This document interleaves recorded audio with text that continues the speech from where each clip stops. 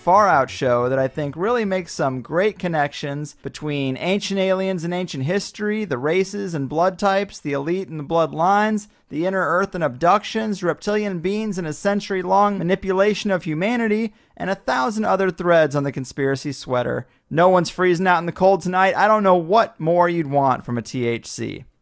but we all know humanity has a rich history of experiences with a wide variety of strange humanoids, including Bigfoot, the Greys, reptilians, gnomes, fairies, and many other things. While still mysterious, the popular motif is that Bigfoot lives in the woods, the Greys are from Zeta Reticuli, and the rest may be some type of multidimensional beings. But maybe all these things are a lot more connected than previously thought, and there's a strong case to be made that the places they call home reside right beneath our feet, well, today's guest, William Michael Mott, is one of the leading voices that has been taking that position in his book, Caverns, Cauldrons, and Concealed Creatures. Now in its third edition, it's considered by many to be some of the most comprehensive and entertaining work on this subject, and I couldn't agree more. I'm psyched to have him here. Mike Mott, my man, welcome to THC.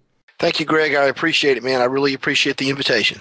Yeah, this is going to be awesome. I love the idea that other types of intelligent humanoid beings live inside the Earth and it's quickly becoming one of my favorite topics. And I think you make some great points that the larger UFO, cryptid, paranormal community has missed. But to start us off, a lot of this involves going back and looking at old myths and legends from different parts of the world, areas we're told had no communication in those days, and we find these commonalities in their stories that are really so similar in some cases, it's hard to believe that they would spawn independently in different parts of the world if they weren't based on some real experiences. Would you say that's one of the prevailing thoughts that kind of links up a lot of these arguments you make in the book? Well, sure. I mean, if you think about it, uh, throughout history, that we've we've always believed, and I mean, we collectively as human beings, all over the planet, we've believed in, in not just a spiritual other world, but in physical other worlds that physically exist. Mm-hmm. And you know, they called them fairy lands or whatever in, in, in northern Europe, and and by different names around the globe. But the general idea is that there are others who, who live there and who occasionally come into our area, take what they need, and then they leave. They come and they, they take genetic material a lot of times, whether it's from people or animals or crops, and they seemingly vanish without a trace. And this is something that goes all the way back into antiquity, and we see this even today with the UFO phenomenon. You know, we have this whole idea that UFOs come from far away, and because we're told that, we've been conditioned to believe that these are extraterrestrial beings, which really works to the advantage of any any race or species, you know, group of species that that is living here with us. If they're taking advantage of us in our world, in our realm, I guess you could say, but they don't want us to put a stop to it, then it's it's totally within their their interest to have us, you know, look at the stars and say, oh, well, they come, they come from up there. We can't stop them. You know, we can't interfere with what they're doing. Oh, right. because, you know, again and again, you'll find this in UFO encounters. You'll find this whole theme of, oh yeah, we come from up there. We come from this star system and that star system, and it's, it's such an obvious, to me anyway, misdirection, where they're saying we come from far, far away uh, look up there, look up there, but you know, don't look under your oceans, don't look under those mountains over there. you know, don't look deep in that in that wilderness area. Just look up there because that's where we really come from. And you know, this is something that goes all the way back into antiquity, like you were saying, because with Zeus, for instance, you know, Zeus would come down and and he would purloin what he wanted from the mortal women and and so forth. And of course, that was always about genetics, really, if you look at those stories and then he would go back to his faraway place, Mount Olympus, which was supposedly so high that no human being could could ever reach Olympus. So it was always look at look at us, we're way up there, we're out of your reach. You you can't possibly do anything about it. And so I think that this is a a theme that we see constantly and consistently updated throughout the history of anomalous encounters. Yeah, I agree. And uh, in terms of the UFO story, I had never really thought about that before, but you make a great point that why should we trust these entities outright, especially if they're doing strange experiments on us? Uh, a lot well, of times people say they're very painful. Right. And I, I guess the argument could be that there's no risk in telling us where they're from if we can't reach there with our technology, but or, still. Or if we believe that, if we believe that we can't. Right, right. And look, it's like this. Okay, I'm going to go on a couple of points here, and this is talking about first let me say that you know think of the earth as a huge living thing and a, and a huge biosphere. We're finding now extreme what are called extremophile organisms living in all sorts of hostile environments including far beneath the earth. If there are other civilizations that have reached a high level of, of development, which I believe that there were in the past, which were destroyed or had to had to retreat, whether it was from conditions on the surface becoming less conducive to their health, or war, or whatever it might have been, then obviously the place to go would be underground and under the oceans.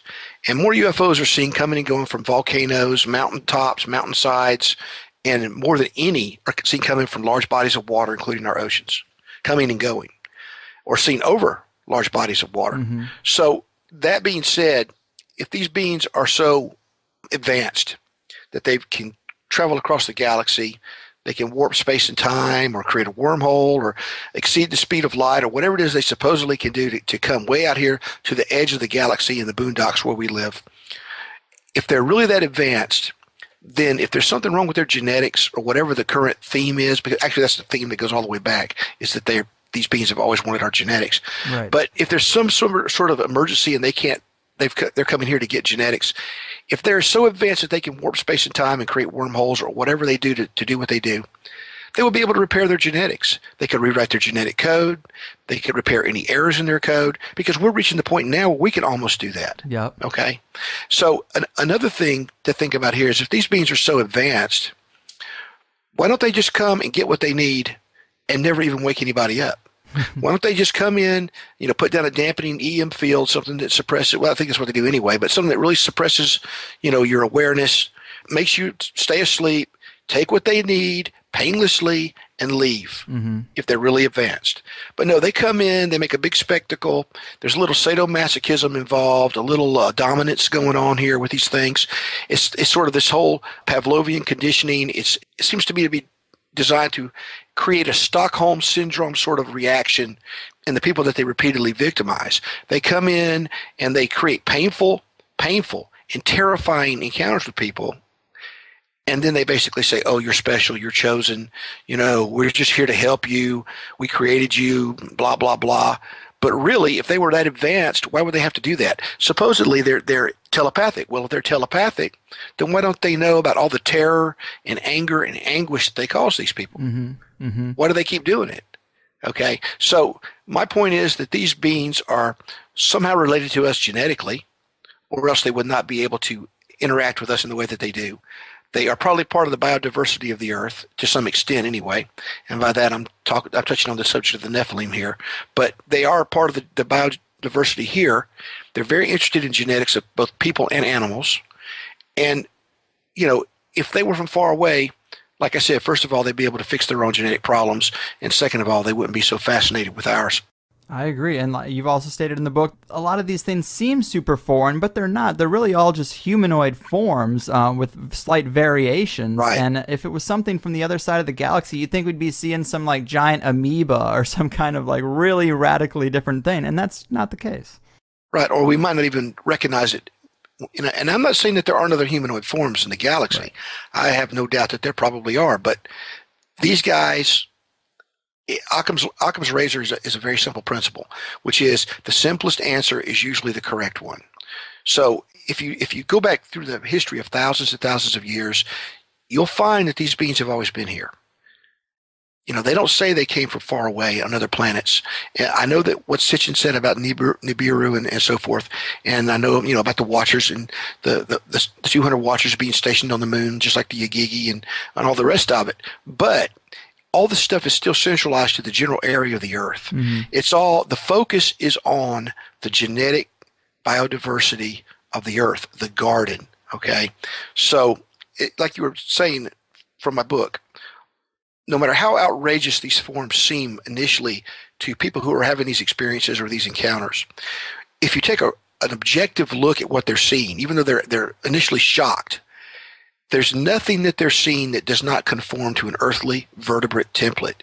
Two arms, two legs, central trunk, one head, two eyes. You know, in fact, if you go back uh, into the earlier part of the 20th century, there were more strange forms seen then, more bizarre UFOnauts, for instance, than there are now, mm-hmm. by far. Okay, the, the range was a little a little more strange. Again, though, they all still had the same uh, characteristics of genetic a genetic life here. You know, if you were from somewhere in a very re- remote area. And someone said, Hey, I want to show you something. They took you in a warehouse and they showed you an elephant, a giraffe, a Maasai warrior, a penguin, a hermit crab, and an octopus. and you'd never seen any of these things before and you had no idea what they were. You would think, where in the world did this come from? Mm-hmm, yep. What what is that? You know, you, you would have a hard time believing they all came from the same planet, is what I'm saying. But they do. They all they all have a common genetic heritage because they're all part of the biosphere here. Mhm. And it's the same thing with these beings. They there's no reason whatsoever to believe that they come from somewhere else. And this situation is much bigger than just the sector of, you know, aliens. But Right. another great point about the alien idea is that if you go back and you look at like the big wave of UFOs in the 50s, 40s and 50s, it seems like the technology that the crafts are using has only really it seems to go parallel with us. You know, that's why a lot of people now are saying they think they were secret government crafts, but maybe there's some other type of being that has a parallel technology that may be 50 years ahead of ours, but it's not so radical that it seems like it came from Zeta Reticuli. Right.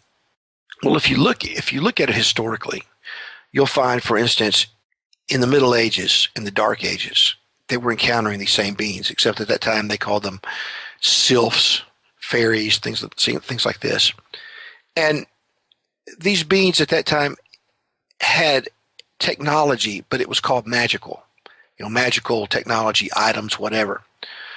Charlemagne declared war on what he called the princes of the air, okay, or the kingdom of the air, because these supposedly wooden ships were coming by sky, by, from in the air, and they were raiding farms and stealing not just livestock but young women. And Charlemagne became so angry that he gathered together his armies and, and marched them out onto the plain and, and screamed at the sky for a while. And of course, they never came down to fight. Then you go forward a few hundred years or several hundred years, and you'll have uh, you know other updates to, the, to this theme where, where for instance, a ship was seen that supposedly threw an anchor and it got stuck on the steeple of a of a church. Wow. I- It's as if their technology has always been just a shade ahead of where we currently are Right. uh, or at least in appearance, in the way they, they in the way they present themselves. Obviously, if you've got a, something that looks like a wooden ship but it's flying, that's actually some sort of advanced technology. But they don't have a lot of imagination. Okay, they basically try to stay right ahead of the popular concepts in, the, in our popular culture, uh, whatever our, our current popular culture is at the time.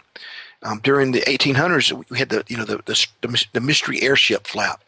Well, at that time, there were no uh, zeppelins flying around at all, and the hot air balloon was not widely known or was barely getting started. But here were these airships flying around, you know, the, the southwest of the United States, and you know, you have to ask, are they keeping up with our popular culture or, or our our subconscious in some way? hmm because again you move forward from that point and you come to the beginning of the ufo age as we know it now where you know kenneth arnold sees the, the, the discs over mount rainier and before that happened uh, there was another guy named richard shaver Yes. who had written about these subterranean ancients who lived inside the earth. And, you know, a lot of people consider Shaver a crackpot. In some ways, he might have been, but he still seems to have known something because there are so many things he wrote about which are still very much in ufology today and in witness accounts today. Everything from abduction, uh, subterranean bases, silver disc shaped craft, which he said were kept in the caves, interest in human genetics, all this stuff. And that was before Arnold had his sighting. Arnold had his sighting of silvery craft. They might have been, they weren't exactly disc shaped, but somehow out of that, he, he described them as skipping like saucers. So flying saucers stuck. Well, as soon as he said that, what do we start seeing? We start seeing saucer shapes. Mm-hmm. So they they appear to update their presentation to us to match whatever our current expectation is. And if we're reading science fiction since the pulp age of science fiction and, and we're expecting aliens from outer space, well then how are they going to present themselves? They're going to put on that mask and they're going to come and say, "Yeah, that's who we are."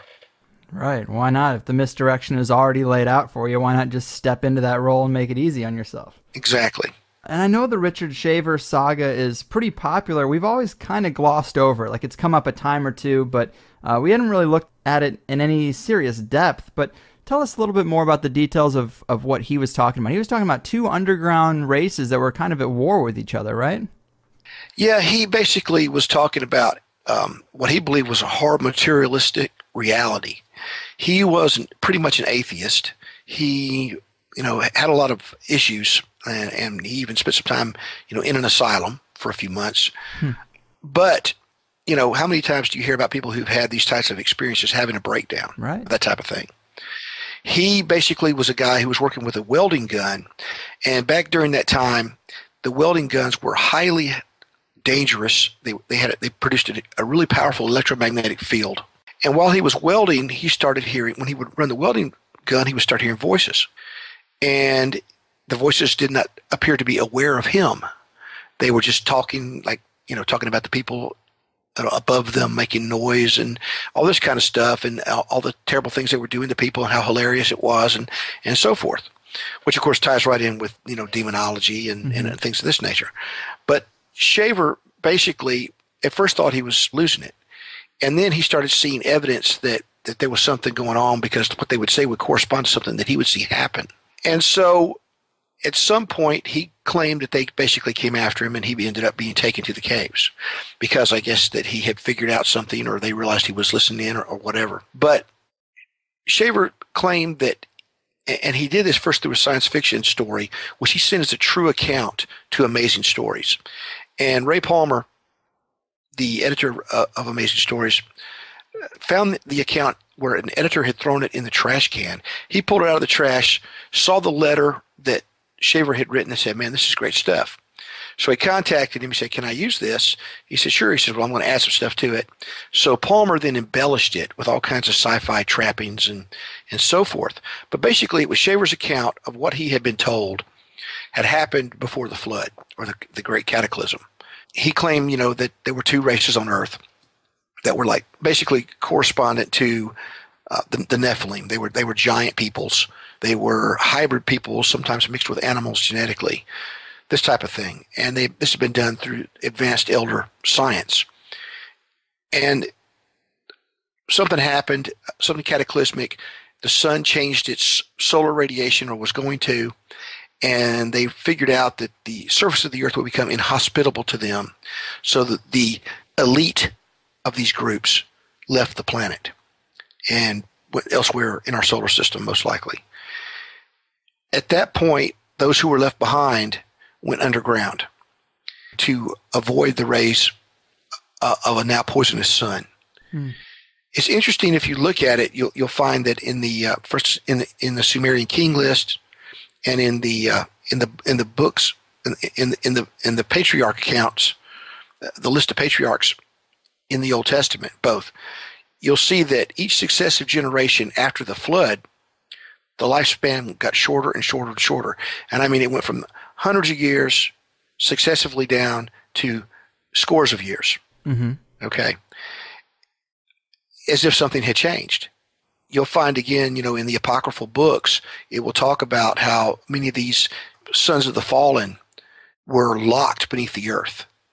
And, and it, it says it's like a punishment, and their fathers are locked there permanently as a punishment or until the day of judgment. You know, as the book of Jude, which quotes from the book of Enoch says, you know, angels who kept not their first estate, but were reserved in chains of darkness until the judgment of the great day.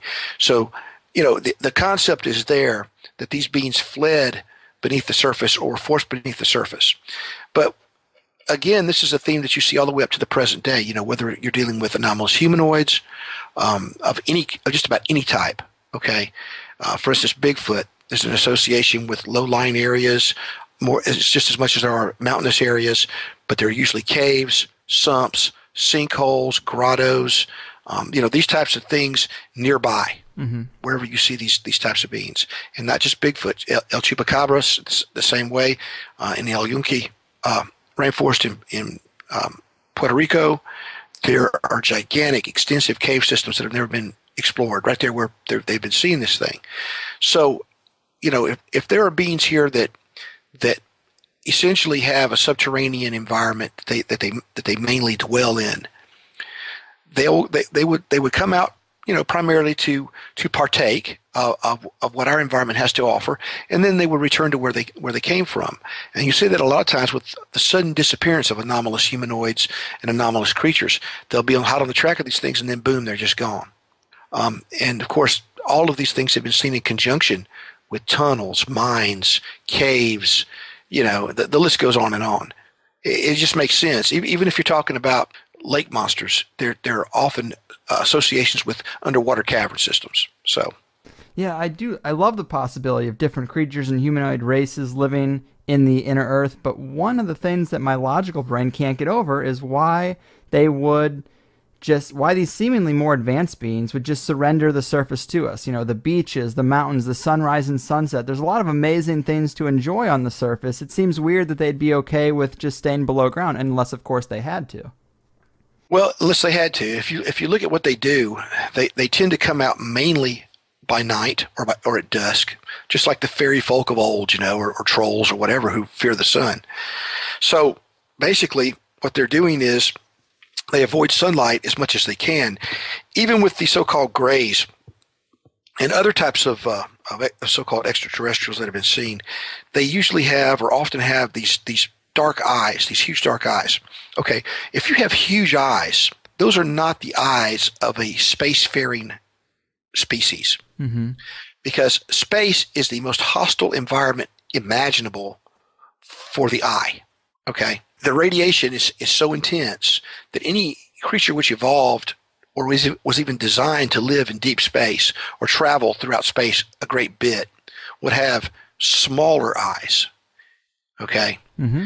These beings have enormous eyes, and nocturnal creatures are the creatures that have enormous eyes. Creatures that dwell in the dark for to a large extent are creatures that have enormous eyes. And of course, there are those who claim that they have seen these beings take off the black covering, and it's basically basically like a giant contact lens. And there's an enormous reptilian or or humanoid eye beneath the covering. So again, these are all indicators that these beings are subterranean. When you look uh, at accounts, for instance, of the grays themselves and how they move, they're described as having sort of a sideways shuffling gait. You know, they, they don't take big strides and, and so forth. And they kind of they kind of mill around almost like ants. Okay. And if you were a, a species that moved, you know, in, in narrow ways beneath the earth, that's the way you would that's the way you would move. And that's probably the body and the head configuration that you would have. Yeah, I think that makes sense to me. And we were talking about how these stories of these kind of beings they span multiple cultures, multiple time periods. Let's step back a little bit and highlight some of these these similarities amongst the stories. Tell us about a couple of the legends we hear from the East that kind of fit this mold. Well, you know, in Japan, for instance, you have a, a story about a, a fisherman who is taken beneath the sea and he is taken by the, the king under the sea, and he is taken down there to, to marry the king's daughter, to create a hybrid offspring. And of course, the king is portrayed as a dragon, hmm. okay, a reptilian. Um, if you go to China, you find the same thing. You find the dragon kings who live under the earth, and they too are interested in human genetics, and they come and, and they take people for purposes of procreation. If you go to the Indian subcontinent and to the, the Himalayas, you'll find the legend of the Naga, the Naga folk, the Naga people, who are reptilian humanoids. They, they are described as uh, looking like snakes or serpents, but they have a human body. And it's interesting because they too are obsessed with kidnapping humans, not just for procreation and, and sexual pleasure and so forth, but for sadistic purposes, which of course ties in with UFO encounters and, and what they do to people, and also as, as a food resource. So this is this is in all those legends too. And you you know, speaking of the Naga in the Old Testament in the Bible, we're told in the very beginning there's a reptilian humanoid that shows up. He's walking on two legs. He comes into the garden, and what does he do? He attempts to seduce the woman. And in Hebrew, the word for the serpent in the garden is Nahash, okay, which is very, very close to Naga. It is. You could actually spell it N A G H A S H or N A H A S H you come to the, to the new world and you have the Nahuatl, which again is a serpent type being. This this is a theme that you find all over the all over the world that these subterranean beings are older, that there's something reptilian about some of them, not all of them, but but some of them, as if they're they're somehow tied in with older species on the planet, and that they're very very fascinated, with, in fact, dependent upon procreation with the human race, and even in folk and fairy lore of Europe, you'll find the same thing. You have the frog prince. Um, this whole idea in very um, watered down form of a sort of a reptilian slash amphibian uh, humanoid who seduces a woman and says, Hey, you know, I may be hideous to you, but I'm really a wealthy and powerful prince. And if you will just mate with me, I will give you everything that you want. I will fulfill all your wishes. And so this is a theme. And, and of course, that, that keep in mind that that that frog prince comes out of a deep well. He's mm-hmm. found in a well. So uh, again, you know, this is a theme that that is universal. It, it, even exists in Native American folklore. Right. Yeah. The Native Americans they have uh, quite a few different tribes have really awesome stories, but I think the one that struck me as the most interesting in your book was the Choctaw Indians. I think they have some pretty rich lore about their local mound area, right? Yeah, they, they do. There's there's a mound uh, there's a mound that's open to the public, and they advertise that as the the Nanih Waiya Mound or Cave Mound, but it's not. There's another one that in just in the last decade or so has been locked away f- uh, from people. You know, you're really not supposed to go in there and see it. It's it's back in the swamp, in some woods, and it's a natural formation, or so they say. It's just this huge outcrop of, of stone and and, and earth, um, just jutting up out of the swampland and there are caves in the front, little caves in the front that you can see, but there's actually a bigger entrance around back that has been cemented shut. It's underneath uh, some sort of uh, deck work that they put up to cover it up, I guess. But they had to, they sealed that shut, and, and the legend, not the legend, the rumor is that that some people went down in there and never came back, which is kind of interesting because it's not that big of a mound. Yeah. so they, if to go down there and not come back, you know that there must be some tunnels in there. But they claim that in some of their legends, they say they came out of that mound themselves. In other legends, they say that there are all kinds of creatures that, that come out of that mound from the underworld. Uh, which is their version of Bigfoot, um, and also uh, Bohpoli, which are like little rock throwers, little hairy men that live in the woods and throw rocks. All these types of creatures, a whole range of creatures that supposedly live in and around that area, but actually throughout this whole area where I live, because I'm, I'm in Mississippi too. But that that's basically, you know, a serious part of their lore. In fact, one of the times when I made a trip to that actual cave mound, uh, there was one time I went there with some other people, and as we neared the mound, we started hearing drums, and there wasn't supposed to be anybody there, and and and we stood there for a few minutes listening, and then I see a what looked like a naked guy run across the top of the mound, and he never came down. And we walked around and we went up the mound. There was nobody there. Now I'm thinking maybe we we interrupted somebody's vision quest. Okay, maybe somebody was there doing something personal and we interrupted it. But another time, okay, this is a sacred site to the Choctaw, and once an entire busload of Native Americans from Oklahoma had come all the way to this mound on sort of a pilgrimage, and I happened to be there at the time, and I was up there taking some pictures and with my with some of my kids and stuff, and uh, this bus pulls up and all these people start getting out and you know they're regular middle class folks and, and so forth. And they go running over to the mound and some of them are bending down real low and looking in the, the little caves little caves you can crawl into if you are are feeling real brave which i wouldn't mm-hmm. recommend. Right. And this one lady stands back. She's very very uh she, she's like a school teacher or something you know or a nurse. I mean, a very professional looking lady with glasses, and she's standing back. And I mean, she stood back like, you know, 60 yards. And I was talking to her and everything, and she was telling me about how they came there and why and so forth. And I looked over where these other people were, and I said, Aren't you going to go and at least, you know, look down, look inside that little cave? And she said, She said, I'm not going anywhere near those those caves. And I said, Why? And she said, Because Bigfoot lives in there. that was it. And that was it. And I, and I looked at her and I said, Really? And she said, I'm serious. She said, There's no way I'm going near those holes. So this is a very deep belief for them that, that there's something uh, otherworldly about that site. But there are other places like that all over North America where Native Americans believe that either they came out of the earth or there are other things that, that dwell in the earth that are, are better left alone. Mm-hmm. Yeah, and I, I just love that story about the Choctaw because you have the this area, this big public display where they're drawing attention, and then you have this little secret area that uh, yeah. no one really is talking about. It's classic misdirection. And well, you know, and, and that's their business. You know, I, the way I look at it is that's a sacred site to them. I, you know, I consider myself lucky to have gotten to go see it a few times. Yeah. Uh, I wouldn't want somebody trampling. All, if it were my sacred site, I wouldn't want somebody trampling around all over it either. That's um, true. It's, it's sort of a pet peeve of mine anyway, because I'll see on, on different articles and on television and so forth where that somebody where they'll come in and they'll dig up this huge site and they'll dig up all these people and they'll take them away. You know, and I'm sitting here thinking, how would you feel if somebody went to the graveyard where your grandparents were buried and they did that? right, that is true.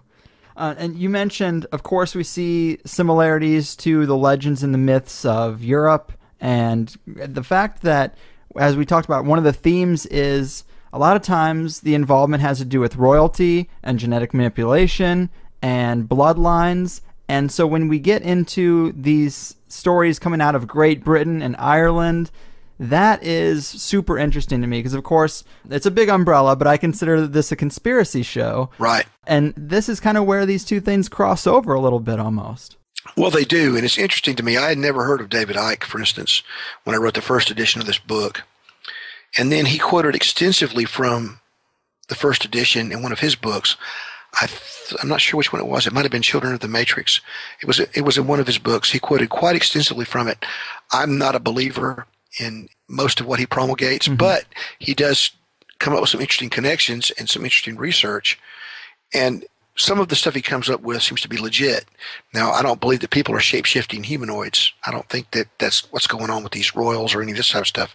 What he may be describing may be a form of demonic possession. Right. Okay. Something electromagnetic going on. Um, I remember back during uh, the 2000 election, there were people all over the place who said that they saw Al Gore do something really strange when he was on television, where he was in a mm-hmm. live interview. He was very angry about the election results that which were still not decided, and he was being very, very belligerent. And a whole bunch of people, credible people, said that when he did this, that his skin tone started flickering and everybody else around him stayed, stayed normal. He started changing sort of color and started like going from green and red, and then his eyes started looking really strange, like bulging in black, uh-huh. and then it went away. And when this happened, it was all over the internet. Well, now it's not. It's gone. I basically at that time I said, well, that's interesting. I'm going to see if I can find that video. It was it had been on YouTube and stuff. It was gone. So I contacted somebody at CNBC because I figured well, if anybody's you know nonpartisan, it's CNBC. so I contacted them, not CNBC, uh, excuse me, C-SPAN, definitely not CNBC. there we go. yeah, C-SPAN. And so I, I contacted C-SPAN because they are highly nonpartisan. And I was talking to a guy. He said, "Oh yeah," he said. "He said I remember seeing that." He said, "I thought that was really weird." And I said, "That was really strange." He said, "I couldn't figure that out."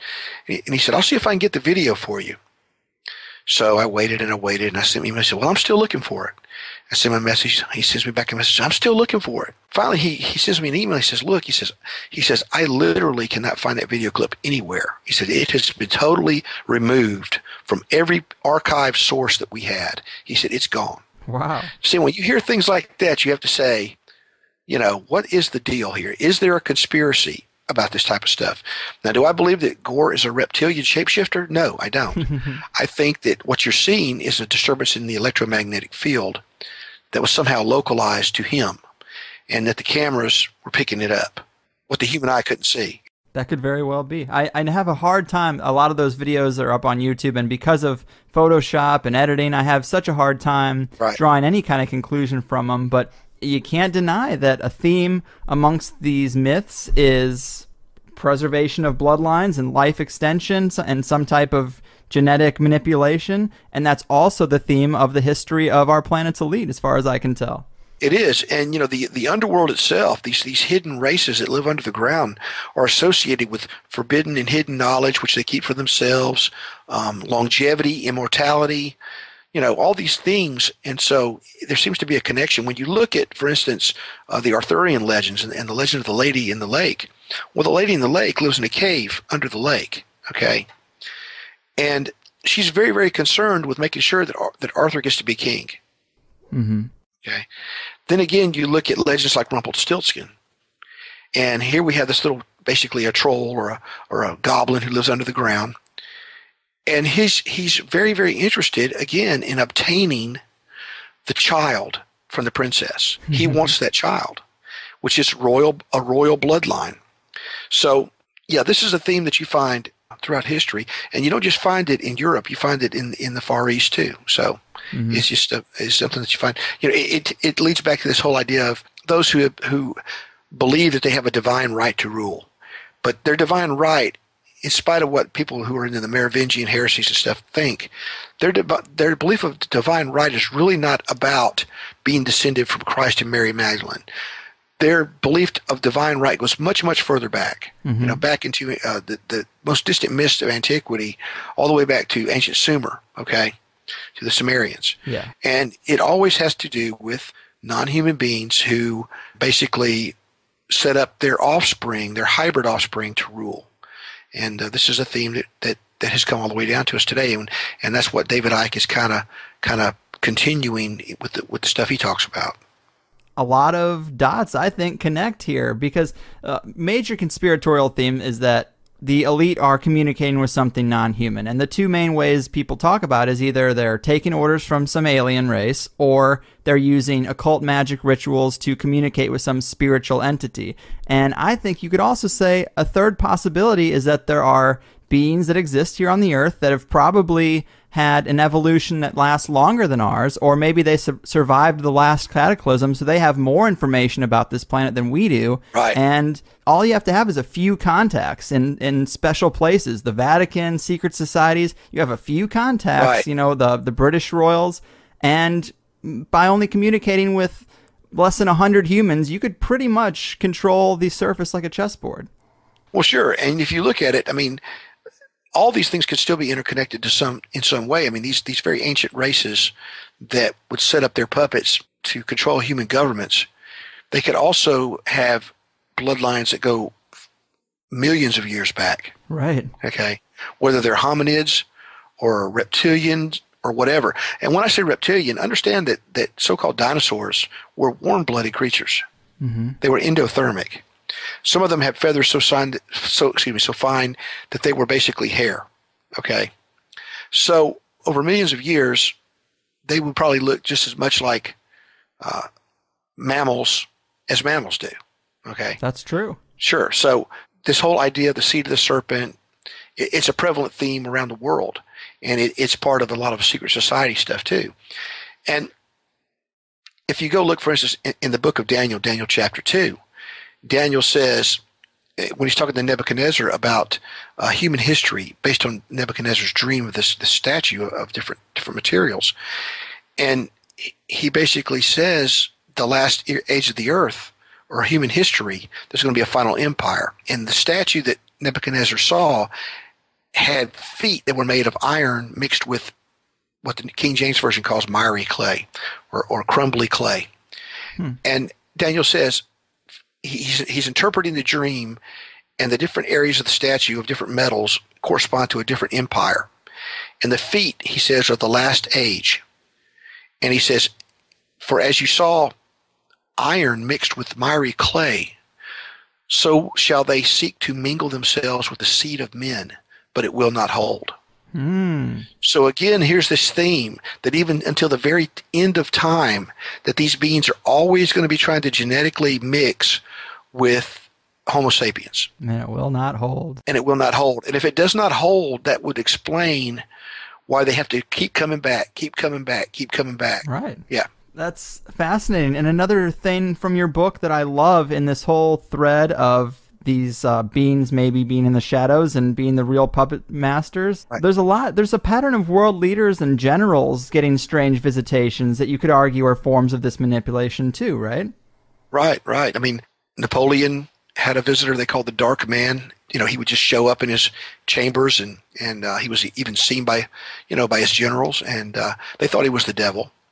And he would come and he would be seen leaving secret conferences when no one went in, things of this nature. Hitler also had a guy like this. They called him the Tibetan. Yeah. Um, this strange character would show up and then depart or just vanish. And it's interesting because Hitler himself said, you know, one of his main rationales was he wanted to create a so-called master race, but he was basing this on a race that he claimed that he had had contact with. And the message that he said that he basically got was, we have to make ourselves like them or they will destroy us when they take over the earth, basically. He said, I have seen the new man. He is intrepid and cruel. I was afraid of him. Wow.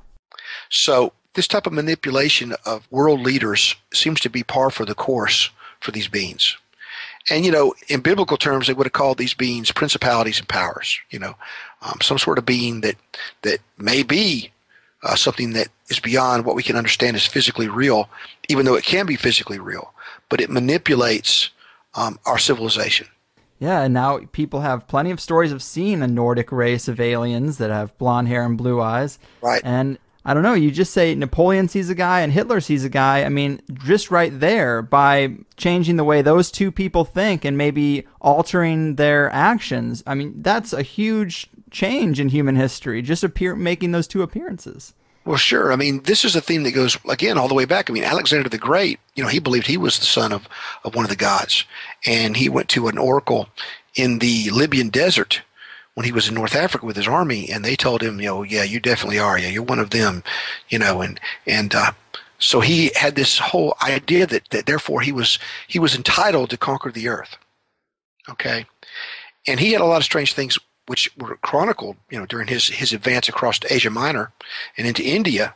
Um, he was he laid siege to one city and he could not get through the wall, and a flying shield was said to have shown up and shattered the wall with a lightning bolt. And then again, when he was crossing a river or about to cross a river in India, he was opposed by so-called flying shields, silvery shields that came out of the river and attacked his army.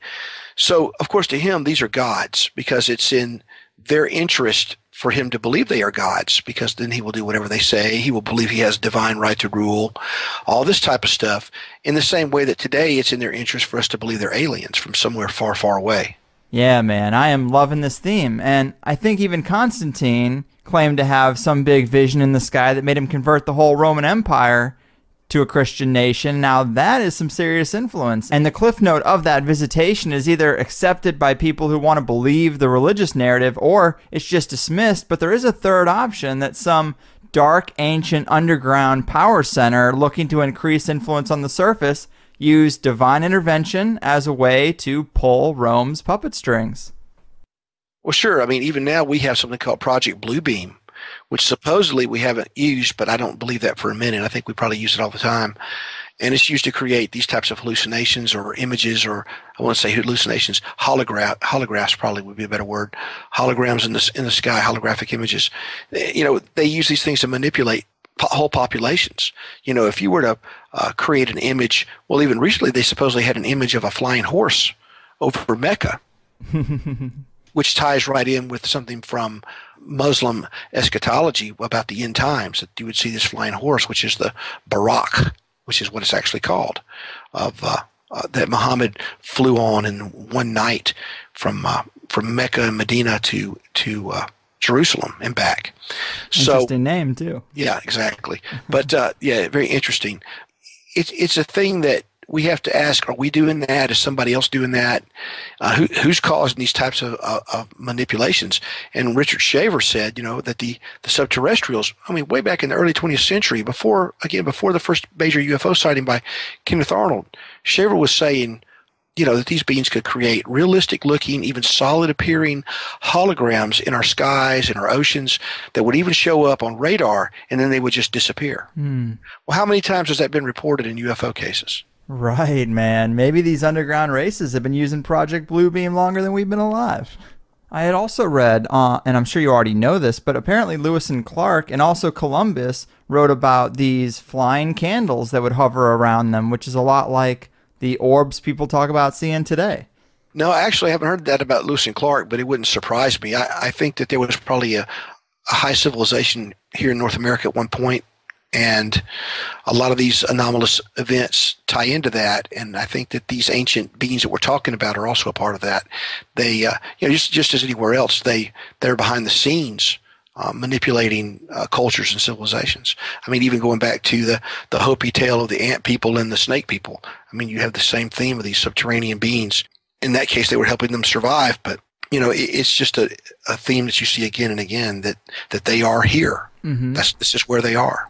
Yeah, another Indian tribe that had those type of stories. I can't remember the name of the tribe, but when they had met the Spanish explorers, they were talking about a being or something they would see called Mr. Bad Thing. I learned about right. this from your book. Can you tell the people about that a little bit? Sure. Uh, Senor Malacosa is what they called him. Well, that's what uh, da Gama called him that. And Vasco da Gama was, you know, an explorer who came through uh, uh southeastern United States and over into uh, over into the Texas region and he claimed that he had met these these Native Americans who who said that this thing called Senor Malacosa was this being that came out of the ground and terrorized them. And the thing about this is that again, this is it's a thing where the, these these people have been conditioned. No, it wasn't Vasco da Gama. It was Cabeza de Vaca. Excuse me. Uh, Cabeza de Vaca was exploring the, the region, and these Native Americans were being totally controlled by their fear of this being. So basically, they said that uh, that this thing would show up, and he would dress as a male or a female, basically trying to seduce people. He would never eat if they offered him food, but he would tell them that he came from down inside the earth through a crevice that was nearby. He would take people apart and put them back together, which is again a theme that you find in ufology with the intrusive uh, surgeries and stuff. Mm-hmm. So, you know, I mean, this this is nothing new, and he was also uh, about he was also accompanied by a bright light and, and, an electrical sensation that would paralyze the victim. He had a wand which had a glowing end on it, which he would use as a weapon. You know, all these things are right out of ufology. Right it's a weird thing because like just in the past 200 years i wonder if there's been major changes to the way these beings interact with us. Because when you look at old writings it seems like they're just coming right up and talking to people whenever they choose to. They're flying around in the sky whenever they choose to. But it's almost like as our technology has advanced, as we've become more of a global society on the surface, they've even taken another further step back. At least that's what it seems to me. I mean, do you notice a difference in the way people talked about it today versus back then? Yeah, I think so. I think that they realize now that people are not going to believe they're gods.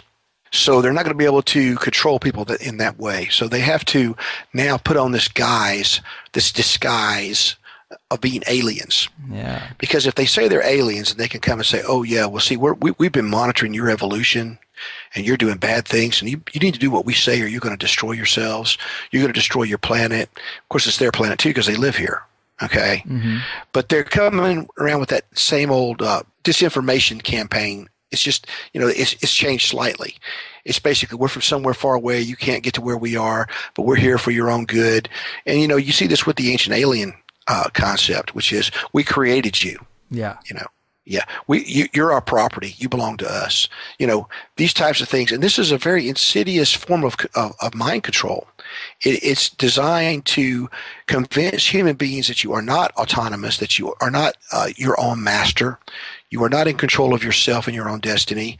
You know, and people should be very very careful about anybody, anybody, human, non-human, uh, religious leader, political leader, or so-called alien that comes and tells you that they know what's best for you, that, that don't think for yourself, just do just do what you're told. And I think that's where a lot of this UFO uh, encounter stuff is leading, and I think that's where a lot of the uh, ancient alien stuff is, is eventually going to end up. Yeah, man, I like what you're saying there. And the themes of the ancient aliens idea and also modern alien encounters jive so well with religion as a control system, too. It's like we swapped out the spiritual lens for a scientific one, but the same story with God. He lives somewhere you can't reach. He knows what's best for you. He has a plan. He made the rules that you need to follow. And he, and he made you. He created you. Exactly. Yeah. He's in charge of your destiny. Yeah, it's it, it's it's exactly the same. Well, what if some of these underground beings are responsible for creating the three major religions? Well, think about this too. I mean, people are easily manipulated even if they mean well, even if they are knowledgeable, even if they're putting genuine evidence together in a seemingly real picture, you know, solving a puzzle. But what if all this stuff's being fed to them intentionally in some way?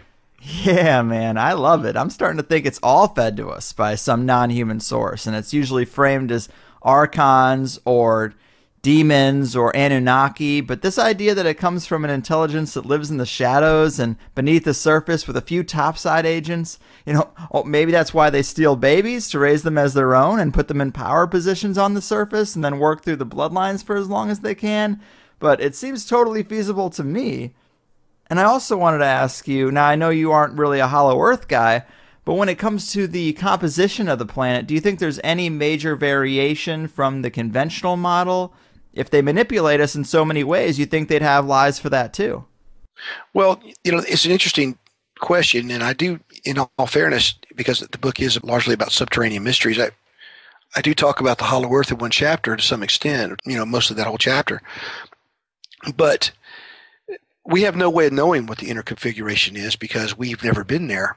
We can guess, we can estimate, we can do tests and hypotheses and see if the test results match the hypotheses. We can interpret data that we gather. But ultimately, if, for instance, we had a protostar or a quasar that was stable or some other strange form at the center of the planet that was extremely dense and was had a specific charge and spin, then we might just assume it was a, a nickel iron core. yeah. Okay. Okay, we, we have no way of knowing this. Uh, it's all guesswork, you know. It is. It's just kind of like one of my favorite stories is about a guy named named Wegener, and Wegener, Alfred Wegener, he he proposed a theory back during the early part of the 20th century about something he called continental drift, and he looked at the shape of the continents and he said, well, these continents once all fit together as a puzzle, just like puzzle pieces, and they slowly drifted apart. Well, he came up with this theory and he was destroyed. He lost his credibility, he lost his academic standing, you know, so forth and so on. Well, now, you know, you, you fast forward several decades and somebody else comes around along and says, oh, guess what? All these planets, oh, I mean, all these continents used to fit together when the planet was young and we had a great continent. It was called Pangea. Well, that's what that's what Wegener was saying. Mm-hmm. Then another guy comes forward and says, "Oh, guess what? We we're floating around on these plates, and they're pulling the continents apart. We call this plate tectonics." Okay, so there's Wegener's theory, except now it's accepted. And you see the same kind of thing happen with a lot of a lot of anomalous things that people scoff at. You know, who knows what the future will hold for Hollow Earth theory? We don't know. Um, you know, I don't personally subscribe to it one way or the other. Yeah. I have to say I'm agnostic about it. Yeah. So I think that the planet itself demonstrably is much more complex than, than we are led to believe. You know, the, the, the crust of the earth is highly complex. It's, it's filled with gaps and voids and holes and tunnels and cavern systems and all this stuff. And even, as you know from my book, you know, at the at the crust mantle boundary, there's a worldwide anomalous region called the Mohorovičić discontinuity, or the Moho for short, and the MOHO is worldwide. It exists. It is real. And the U.S. Navy has tried to drill to it. The Russians have tried to reach it. Nobody has succeeded in reaching it. But we find that there's this largely vacuous area, very deep, at high pressure, and it shows up in you know in seismology and seismic readings as uh, valleys and troughs and mountains and things like this. So, is it full of water? Is it full of liquid fire? Is it full of air? You know, we have no way of knowing. Is there are there oceans in there that are being evaporated by heat, and then that's in turn resulting in the never-ending, continuous supply of fresh oxygen that is blowing out of large cave systems around the world. Yeah. I thought that was really interesting too because I've been near a few caves and you feel that air coming out and you're like, yeah, where is that coming from? Right. Where's it coming from? And you know, whether it's Lechuguilla Cave, you know, in in uh, in New Mexico, or or Blowing Cave in Arkansas, or Mammoth Cave, or the huge cave that's over in Vietnam, you know, these caves are constantly blowing fresh oxygenated air, constantly, mm-hmm. and so it's there's got to be a source for that. It's not just being generated down, you know, by the by the solid nickel iron core. Okay, so there has to be an inner area where that oxygen exists or where hydrogen H2O actually is probably being broken down um, into hydrogen and oxygen and expelled. And that would be something that would happen if there were internal internal oceans, which now we know all the time we hear news about another internal ocean being found in the crust somewhere. Yep. And if these bodies of water are being converted into oxygen by heat, that would explain uh, you know that that air pressure. Yeah, and I'm kind of with you on the Hollow Earth. I love the idea of it, but it's some of the the theories of its composition are so radically different than what we know. It's hard to wrap my head around the idea of an inner sun or something. But when you bring up this moho layer between the crust and the mantle, that is really all I need. Because in terms of surface area, uh, it's the same. You know, it, it could be as just as vast with continents and oceans and all kinds of stuff right beneath our surface and it doesn't really matter to me if it's looking inward or outward because that's really the difference we're talking about with a with a hollow earth theory. It's just that they're they'd be pointed inward towards the inner sun. But if there's a layer like an oreo uh, like a layer of cream in between our crust and mantle yeah. that's just as much surface area. There could be plenty of continents there. The whole shangri-la thing could be there. Yeah. A um, lot of possibilities well, right on. Mike, this has been a fascinating show. I love that book. I hope we can do it again because there's so much more stuff we didn't even touch on. But uh, before I let you go, would you like to tell the people about some of your other work and website and anything else you got going on? Sure. You know, I've got, uh, I just say go to gravedistractions.com. That's my, pub, my publisher, gravedistractions.com. And there you can find all but one of my books. Um, you can find uh, Caverns, Cauldrons, and Concealed Creatures, the third edition. Please get the third edition. It is much more expansive, has a lot more material in it, and it will cost you less. And the others are out of print, or they are supposed to be out of print. And uh, so, yeah, get the third edition. You can get the third edition of Caverns, Cauldrons, and Concealed Creatures at Amazon or Barnes, Barnes & Noble. You can also get This Tragic Earth. You can get the both of these books in Kindle, Nook, or print okay, and all the other uh, digital formats too. I also have a couple of uh, fantasy novels which deal with some of these themes. They're together in one volume. It's called the Pulsifer Saga, the Pulsifer Saga, and it's really, really uh, enjoyable stuff. People tell me it's also at Amazon and it is also at GraveDistractions.com. I recommend going through Grave Distractions to, to to click on the links for these books because um, that way, you'll be sure and get the latest and greatest edition. The the Pulsifer Saga is now in the third illustrated edition, and that's the one that you want to get.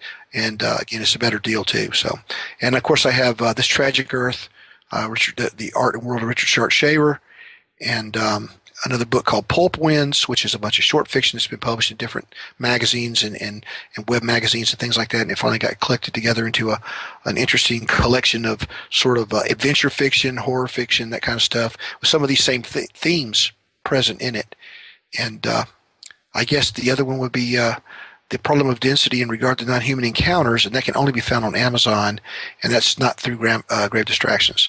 And that, that's published by Interlight Communications. So that's it. I go gravedistractions.com and look for my name under authors, and you'll find it. Cool. Very awesome, man. Well, can't thank you enough. So glad Dean Dominic DeLucia pushed me to get in touch with you. It has been a real blast. Uh, until next time, keep doing what you're doing, man, and take care of yourself out there, all right? Thank you, Greg. You too. I appreciate it. My God, people, I just love that episode. I think it